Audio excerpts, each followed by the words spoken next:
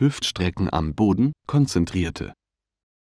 Ein Bein vom Boden abheben und komplett strecken, sodass sich eine horizontale Linie bildet.